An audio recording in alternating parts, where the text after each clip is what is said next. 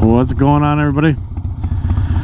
Been a while since I've posted anything, but uh, I just thought I'd take the camera along tonight and take you for a little ride. So, as you can see, riding something a little different. So this bike here is a 91 Dynaglide Sturgis edition. So not a lot of them made, and uh, I think there was 1,546 of them built in 1991. So it's in really good shape and I picked this up a few months ago from a guy that had it stored for quite a few years and got her back up and running and it runs great but shakes like an old Evo which is awesome. So anyway I thought I'd take you along for a little ride. As uh, haven't been riding a lot this year. Been doing a few rides with the local hog chapter I'm a member of I'm a road captain there and the uh, safety officer there as well. So I try to stay busy with the club. I think it's a great club, a lot of good people in it, and uh, they do a lot of great events. So I know not all hog chapters are set up the same way, but I think ours is pretty good. It's all about getting out and riding, right? Thought I'd take a little spin around a local area and enjoy this old bike. So, some of the stuff I learned about this bike, like I said before, it's a 1991 Dynaglide. It's the first of the Dyna models. So, this is the, also the first motorcycle that Harley Davidson built from the ground up on CAD, uh, the computer aided design program. So it's not the first to be labeled a Sturgis. First one was an FXB model in 1981 that was designed by Willie G. Um, this one's 10 years later and it was uh, released to coincide with the 50th anniversary of Sturgis. It's this one's all factory. Even the intake, um, I know it looks like it was kind of dialed up, which it was, but the actual intake is a Screaming Eagle. You're supposed to put the original air cleaner cover back on, but I wanted to do something a little different, so I had a a plate made, painted it black, lots of clear. Actually, a co-worker of mine painted it up, did a really nice job on it then I put the number 80 on it for 80 cubic inches. Just something different. But it's a super fun bike to ride. It's old, it shakes. It, it's like it's got a soul. It's by no means fast. It is heavy feeling. I know with the raked out front end, it feels heavy can't remember the weight of the bike. I want to say it's 680 or something. 685, I think it said in the uh, specs, but it just has a, a heavy feel to the bike. Because I have a Street Glide, and my Street Glide feels a lot lighter than this thing. And I know it's a heavier bike. It's just a different design, different different rake, different trail. So it just handles the road a lot different. But it's still a lot of fun to ride. So this is uh, Oconomowoc, Wisconsin, Lake LaBelle.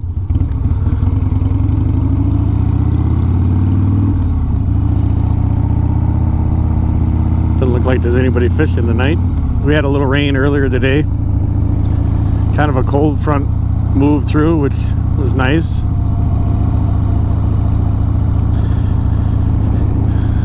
We had temps in the 90s last week, or real close to 90. This week it's going to be mid 70s, so it's really nice.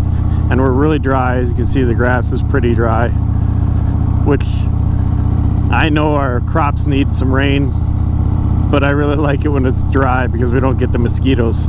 There's hardly any mosquitoes right now, so it's awesome can actually enjoy being outside.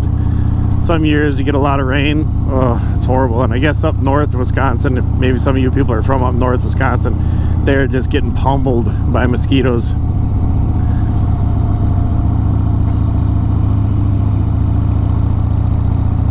So anyway, I, I've been pretty busy doing some hog stuff. Did a little, um, I don't know what you call it. I guess sort of a safety seminar. Not really. It's about uh, group riding etiquette and uh, a little bit of practice in a parking lot. Giving people a chance to kind of loosen up. I called it knock the rust off, but I didn't realize ABATE has the same thing. I got the I got that name from watching a video on YouTube. Like, oh, knock the rust off. That's a good name. So that's what I called it. And then somebody said, oh yeah, ABATE has the same thing. Oh, okay. I didn't want to make it seem like I was copying anybody from around here, but it was a good name.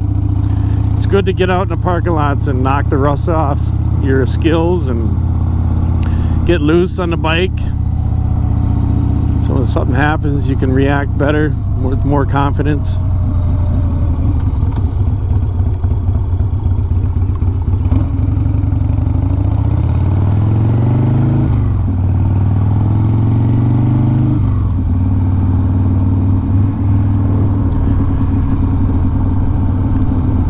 Know if any of you guys have watched any of my videos from the past where I went to Colorado and rented a Heritage Softail. That was a great ride.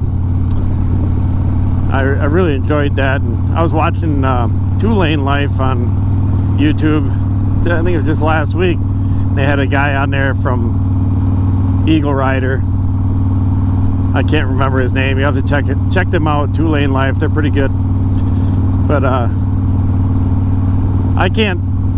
That's one thing I can uh, attest to is going to Eagle Rider and renting a bike is really easy to do, and it's really nice. You know, it, I don't get a lot of vacation, so it was really handy. I made a last minute decision to go out to Colorado and go ride the mountains. Grabbed an airline ticket for the next morning and reserved a bike online for the next morning. And this is about noon on a Sunday. The next morning at 9:30, I was on that Heritage headed up to the mountains. So it worked out perfect. Look at that, a Honda Goldwing with a collector plate on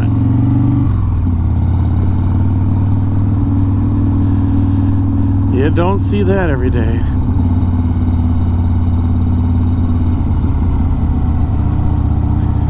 This bike's 32 years old. I thought about putting a collector plate on it, but I heard it was $200.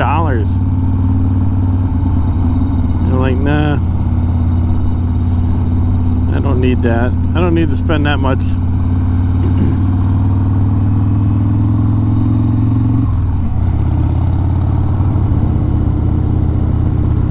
So some of you uh, that maybe maybe watch this channel don't know Wisconsin. This is uh, southeastern part. Uh, we're kind of like halfway between Madison and Milwaukee. Oconomowoc. It's always a tough one for people to say. But we're known as the Kettle Moraine area. So in the Kettle Moraine area, you'll get areas where there's deep kettles, deep pockets of quick dipping valleys, which some of the roads then tend to be sort of twisty and hilly. It's kind of nice, but it, they're in pockets. You'll have a, a nice section here, then it'll be flat and grid like, you know, all the roads are straight and kind of boring. And then you'll get another pocket of area that's really pretty, very nice to ride in this is sort of a pocket here in this area. This is also known as lake country area, so there's a lot of lakes in a very small area here. A lot of small lakes, deep ones, because of the kettle moraine. I think a lot of the lakes are that are here tend to be pretty deep. But there's also a lot of deer. A lot of deer. Luckily, I have not hit a deer with the motorcycle. I have hit one with the car. And uh, it definitely did a number on the car. It totaled it out. We drove it for a week or so afterwards until the insurance company said it was totaled, but there's another one out there. I, I doubt the GoPro picks them up. There's a couple of them out there, but I don't know how many deer are around this area, but you get out this time of day where sun sunset within an hour of sunset, they are everywhere. It's crazy. And they're in an area where they really don't get hunted. Uh, a lot of homes around here and a lot of deer lovers too. Sometimes you bring up the idea of picking off these deer to kind of thin the herd and oh my goodness. You'd think you were talking genocide or something. I mean, people go crazy over these deer. But by my house, they're like mile markers on the road. And when it gets 90 degrees, it smells like death everywhere. It's nasty. Why people like that? I don't know. Hmm. That's a new one. Guys stopping and backing up.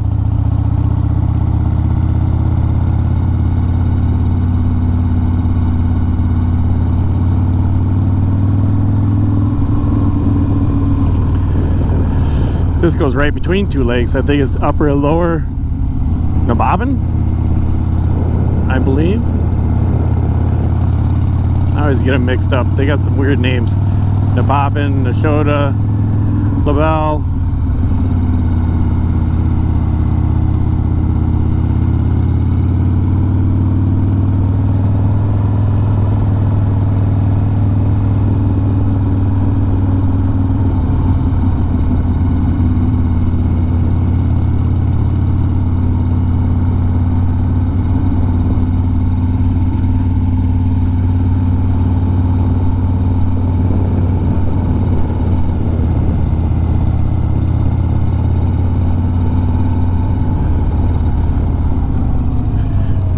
Back up again.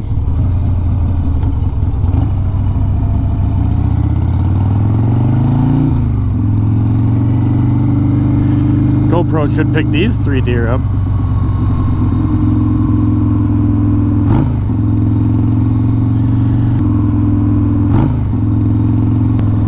That's why you like loud pipes. hopefully scares the animals away but you never know where they're gonna run. Sometimes they'll run across in front of you too.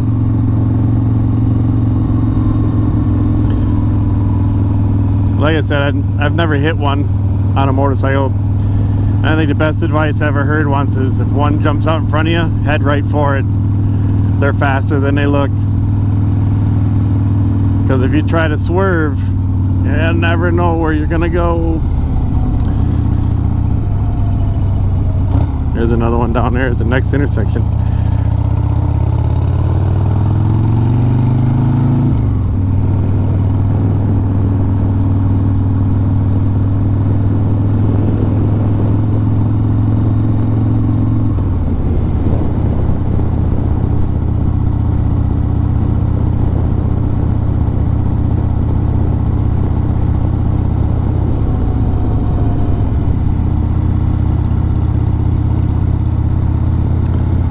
such a nice night.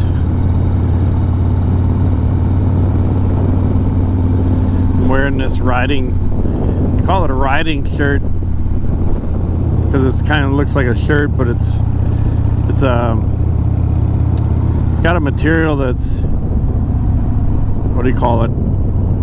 Abrasion resistance. So if you go down, it helps protect you. It lets air flow through too so it's not the warmest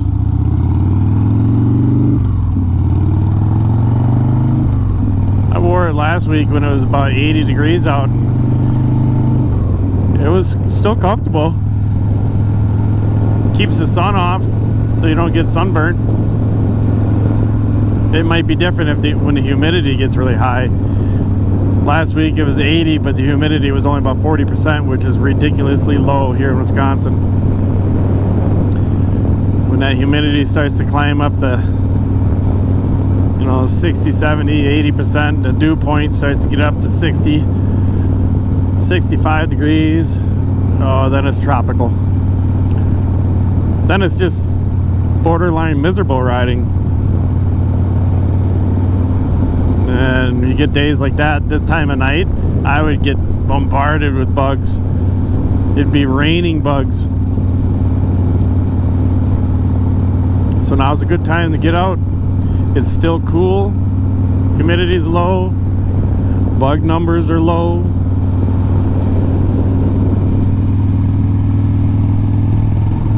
I hope the microphone picks me up, but even better, I hope it picks up the sound of this thing. It's got a nice, a nice sound to it.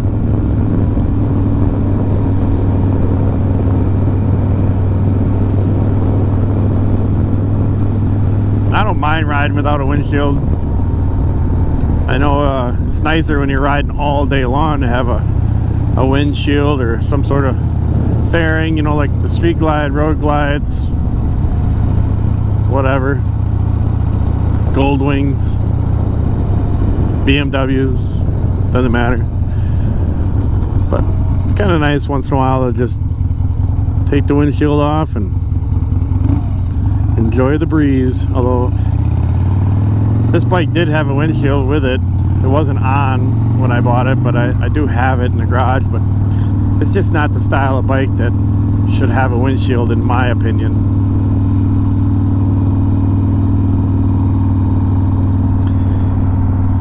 It's got these highway highway pegs.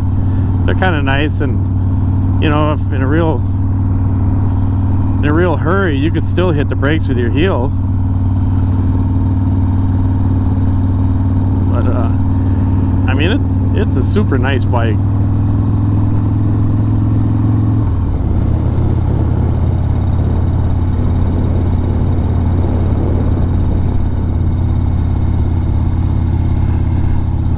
It runs so nice. It shifts pretty good you know, the suspension isn't bad either. Being kind of a stretched out looking low riding sort of machine. Rides better in my sporty.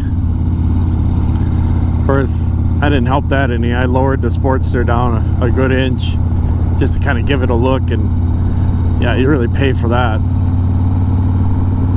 These little cracks in road that I don't even feel on this one, yeah, you feel it on that Sportster.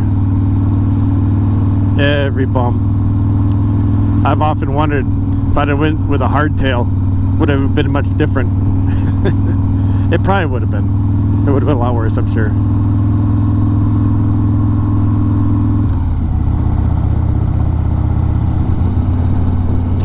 So last uh, this past weekend, Road America is just 70 miles north of here, so my two boys and I, we went up there on a Friday to watch the practice and a little bit of the qualifying. We didn't stick around to watch the baggers qualify.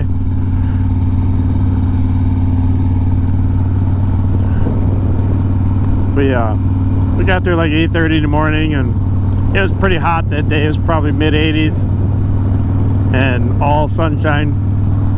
That's the first time I've been to Road America, and that's really a cool place. What a great place to watch cars or motorcycles run around a track. You got so many different places you can walk to, to or, or even ride mopeds. People ride mopeds or small motorcycles all around the inside of the racetrack, and you can drive from one corner to the other to another. They got uh, concession stands all over that racetrack, so just about wherever you're at, don't matter. You can get something to eat, we were on, uh, we had lunch on turn six and seven, a little taco stand kind of place there. They had burgers too, but they had tacos and whatnot. So it was nice sitting there eating and watching the uh, the bikes go racing by. It was awesome. Highly recommended if you're in Wisconsin. You gotta you gotta make it down to one of those races. Those baggers, though.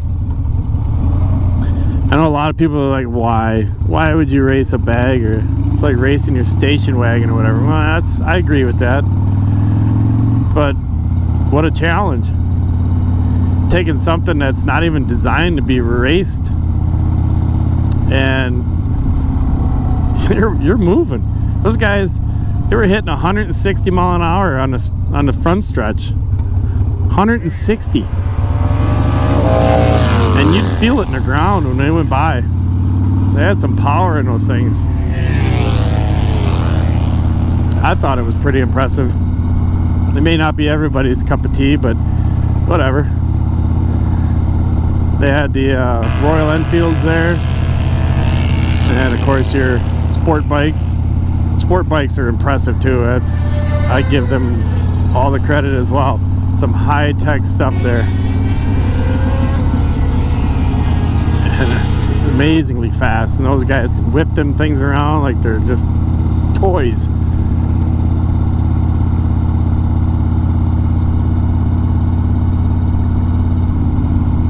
But I am kind of a Harley fan. I I'm not I don't care what what you ride. I really don't. I got a friend that rides Triumphs he's got a Yamaha. I, I've got a Honda in my garage. And uh, I just, I don't know. I like Harleys. I used to be that guy too that said, eh, who wants a Harley? You're to pay all that money and for what, you know? And then I, then I rode one and I got it. I understood. It's just something about it. And if you got to explain it to somebody, they probably aren't to get it. It's just something you got to jump on and you either like it or you don't. The one bike I've uh, kind of wanted to try but never gotten around to is I'd like to ride a BMW someday. I like that GS 1250. I have absolutely no use for something like that because off-roading is probably not something I'd be any good at. I'm sure I'd enjoy a nice trail ride or something, but and those bikes probably aren't really all that great either on true off-roading. They're just monstrously big.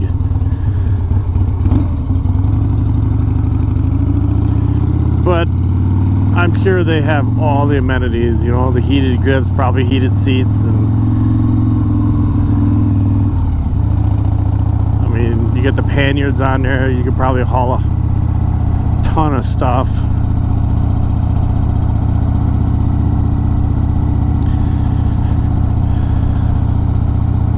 But from what I've heard with BMWs, you pretty much, if you're going to work on them, you need a computer. And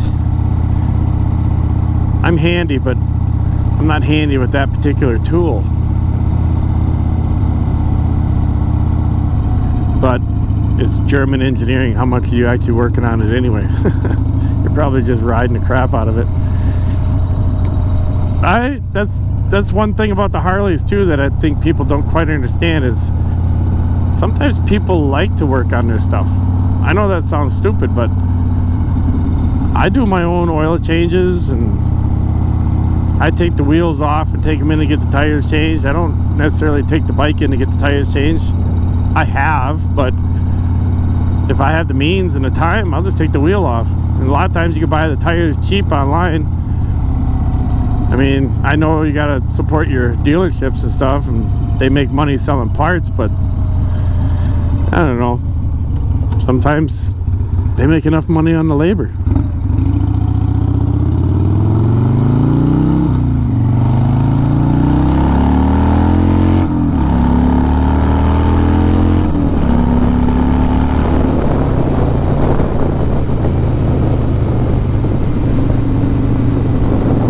Like I said, not very fast, but it sounds good. Feels good.